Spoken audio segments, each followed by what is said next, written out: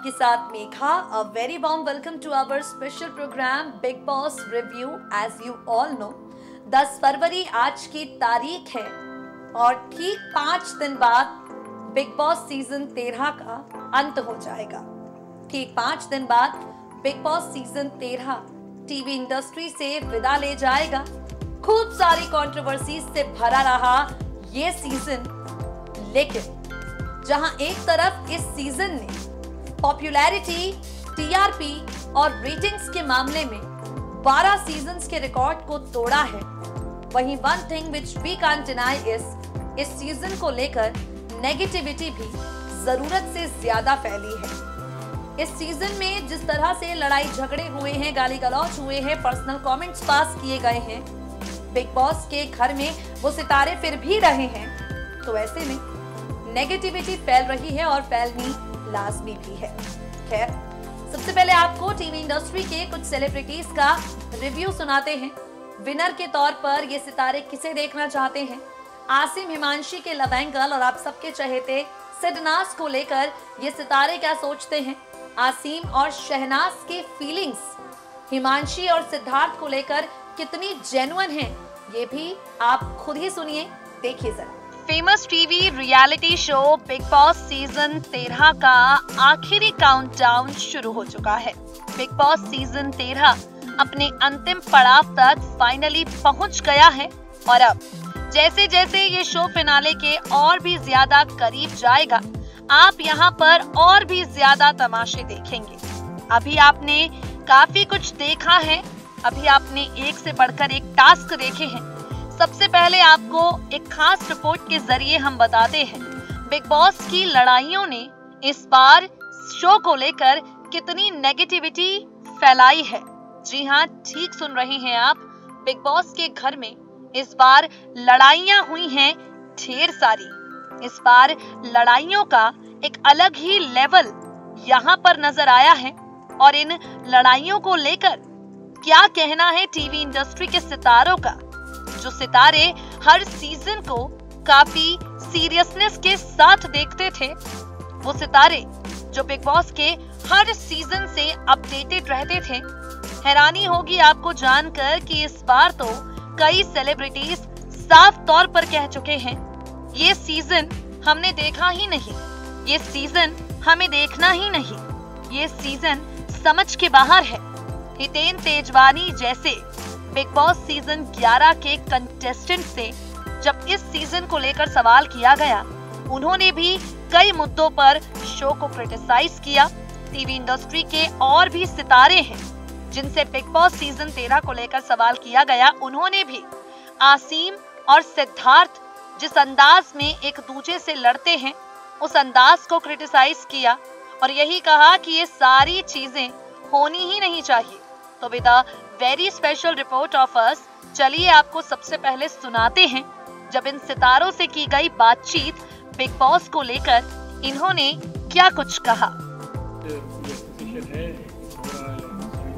अगर मैंने सब कुछ अभी बता दिया तो फिर कैसे चलेगा? धीरे धीरे आएगी सारी बातें आएँगी सामने। ये देखो आ गए यार। देखिए मैं आपको बहुत फ्रैंकली बताता हूँ मैं रोज़ बैठ के बैठ के देखता नहीं हूँ कि क्या हो रहा है क्या नहीं हो रहा है। मुझे पता है हो क्या रहा है। थोड़ा बहुत। थोड़ा बहुत ही बता मुझे मालूम था घूम फिर के आप लोग आ जाएँगे बिग बॉस के ऊपर। देखिए क्या एकदम क्लियर है जो हमें दिख रहा है अब जो हो रहा है कि सब लोगों के यू नो सहायक भेजे हैं, सब लोग के जान पहचान वाले भेजे गए हैं अंदर, और वो लोग मिल के अपने जो, जिसको सपोर्ट कर रहे हैं, कैसे उनको जिताते हैं, पूरी गेम वो है। तो Bigg Boss every week every day कुछ ना कुछ नया ट्विस्ट डाल रहे हैं सो दैट ऑफकोर्स एक्सटेंड है, हो गया है तो you know every some day और द अदर कुछ नया नया आ रहा है बट जो मैंने पहले से कहा है, वो अभी भी मेंटेन रखूँगा। मुझे अभी भी ऐसे ही लगता है कि सिद्धार्थ जीतेगा। जवाब दे दिया मैंने। जी में जी में जी में आजा आजा आजा। आजा रे मेरे साथ पुकारे मेरे साथ पुकारे मेरे सुन पुकारे मेरे सुन। जी मी टुडे डेविल नाइट आजा। आजा आजा डेविल नाइट आजा आजा आजा।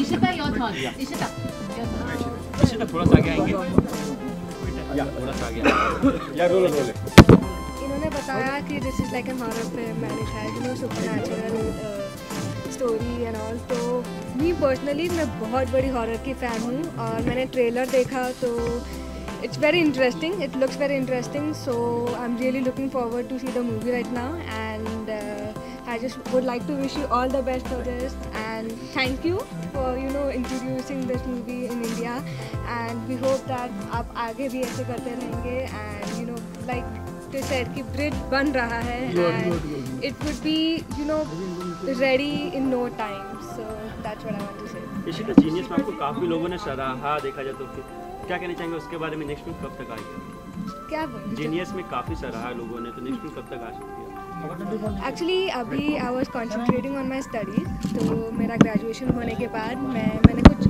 स्क्रिप्ट सिलेक्ट किए हैं and I am sure that in no time I be declaring everything but I just would like to say thanks to my fan जिन्होंने patience रखा और अभी भी मुझे सपोर्ट करते हैं। और you know they are always like so guys सुन लिया आपने हितेन तेजवानी को लगता है कि सिद्धार्थ शुक्ला बिग बॉस के विनर हैं। और उसके बाद के सितारों को लगता है कि यहाँ नौ साल का प्यार जो है अचानक से छूटता भी नहीं है झटके में प्यार होता भी नहीं है। और दोस्ती सिर्फ़ दोस्ती नहीं हो सकती लड़का और लड़की की। अब आगे बढ़ते हैं। आसिम और शहनाज ने इस बार लाइमलाइट तो यकीनन काफ़ी ज़्यादा ग्रैब की है और हमारी अगली रिपोर्ट इन्हीं की जर्नी को लेकर है। इनकी जर्नी बाकी के सीजन्स में आने वाले कॉमनर्स के लिए कितनी इंस्पिरेशनल हो सकती है, ये रिपोर्ट सुनकर आप भी जान पाएँगे। सुनिए जरा। अब इन सबके बीच में सवाल ये उठता है कि आखिर कौन है बिग बॉस का सबसे पॉपुलर कंटेस्टेंट शुरुआत करेंगे एक ऐसे शख्स से, जिसे बिग बॉस से पहले कोई जानता तक नहीं था। जी हाँ बात कर रहे हैं हम यहाँ पर आपसे, किसी और के बारे में नहीं, बल्कि आसिम रियाज के बारे में। आप सब जानते हैं, आसिम को बिग बॉस से पहले कोई जानता तक नहीं था। इंडस्ट्री में सात सालों से स्ट्रगल कर रहे थे आसिम रियाज, लेकिन उन्हें पॉपुलैरिटी नहीं मिली। उन्हें नाम नहीं मिला। आसिम ने हार नहीं मानी। आसिम की किस्मत बदली और वो बिग बॉस के घर में आ गए। शुरुआती हफ्तों को देखकर लगा, ये शख्स ज़्यादा आगे नहीं जाएगा।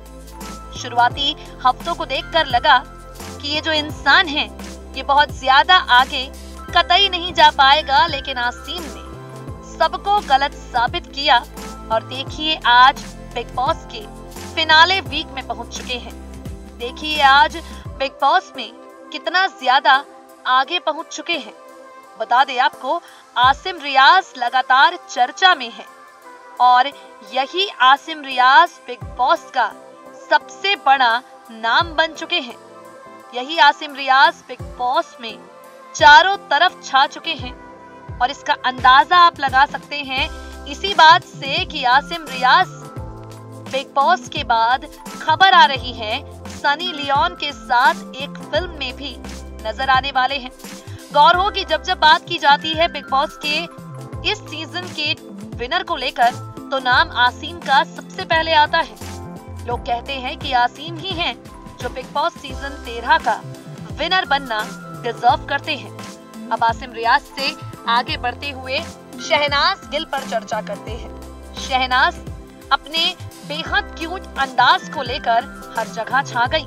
सलमान खान जो शो के होस्ट हैं, वो तक शहनाज गिल के फ़ैन हो चुके हैं। वो तक शहनाज गिल को पसंद कर रहे हैं। कई बार सलमान कह चुके हैं कि शहनाज जैसी भी हैं, बिल्कुल रियल हैं, बिल्कुल फेक नहीं हैं और बहुत अच्छी हैं। सलमान ये भी कह चुके हैं कि शहनाज गिल बिग बॉस के घर के बाद काफ़ी ज़्यादा सक्सेसफुल अपनी लाइफ में होने वाली हैं।